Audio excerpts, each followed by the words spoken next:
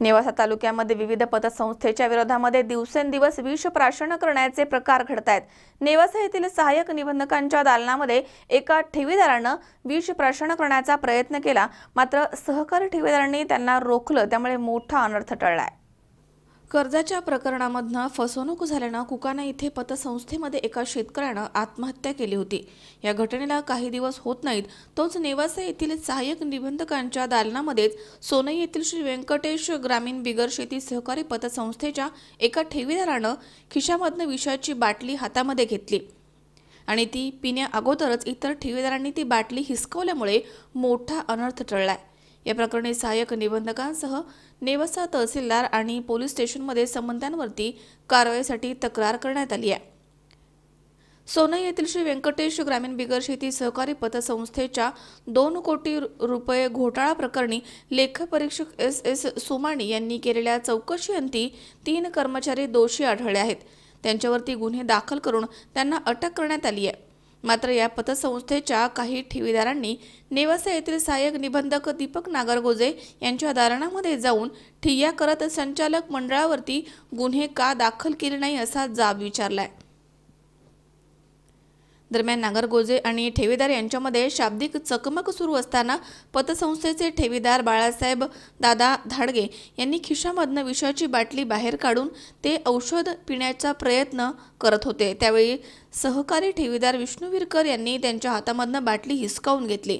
त्यामुळे मोठा अनर्थ टळला. या दरम्यान यावेळी दालनामध्ये एकच गोंधळ उडाला होता. यावेळी दोषी संचालक मंडळावरती कारवाई करून त्यांना अटक करण्याची मागणी करण्यात आली आहे. आणि कारवाई न झाल्यास मंगळवारी दहा जुलै रोजी याच ठिकाणी सामूहिक आत्मदहन करण्याचा इशारा देण्यात आला आमच्या गावात व्यंकटेश ग्रामीण पतसंस्था आमच्या ठेवी होत्या. आम्ही दहा वीस ठेवीदार आज सहाय्यक निबंधक अधिकाऱ्याला निवेदन देण्याकरता आलो होतो. आम्ही वेळोवेळी निवेदन दिले पण त्यांनी काही कारवाई त्या व्यंकटेशच्या पतसंस्थेवर केली नाही. आणि या आरोपीला पाठीशी घालत आहे. आमच्या ठेवी मागं मिळावं म्हणून आम्ही या साहेबांनी निवेदन देण्याकरता आलो होतो. पण यांनी आमचे निवेदन हे घेण्यास टाळाटाळ केली. आणि फक्त कारवाई चालू आहे ऑडिट चालू आहे असं सांगून आम्हाला आमच्या तोंडाला यांनी पानं पुसली. सहा महिने झाला यांचं ऑडिट चालू आहे यांचं ऑडिट अजून संपलं नाही. आणि प्रत्येक वेळेस एकच उत्तर देतात का आमचं तपास चालू आहे ऑडिट चालू आहे तुमचे पैसे मिळतील. आणि कुठलीही कारवाई केली जात नाही. फक्त कामगारावरच यांनी कारवाई केली. आणि चेअरमन व्हाईस चेअरमन हे संचालक मंडळ हे मोकळं मोकळं फिरत आहे आणि व्यंकटेश संस्थेच्या चेअरमननी आम्ही पैसे मागायला गेलो असता. यांनी आम्हाला दादागिरी धक्काबुक्की केली. बऱ्याच वेळा दादागिरी केल्या गुंड आणलेत. तर तुम्हाला मारू आमच्या दारात येऊ नका. तुम्हाला कुठे जायचे जा कुठं तक्रार करायची करा. आमचं कुणीही काही वाकडं करू शकत नाही. अशा पद्धतीने आम्हाला उत्तरं दिली. आणि तुम इथं आल्यावर आम्हाला नेवाशाच्या सहाय्यक अभियंतांनी जो अधिकारी आहे दीपक साहेब ना नागरगोजे यांनी सांगितलं तुमचं माझ्यापाशी काही काम नाही.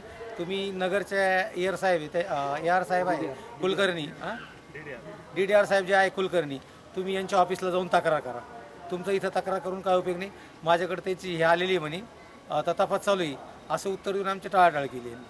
आणि आमचं निवेदन घेण्यास मी नकार घेईल दिलता.